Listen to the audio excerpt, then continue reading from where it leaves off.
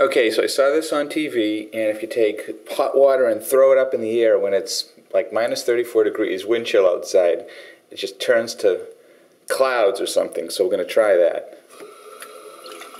This is uh, hot water. It's boiling hot water, 190 degrees. There it is.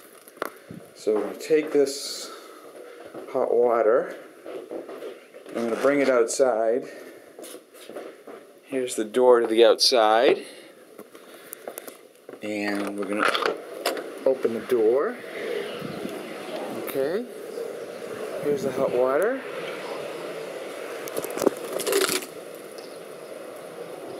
Did you see that?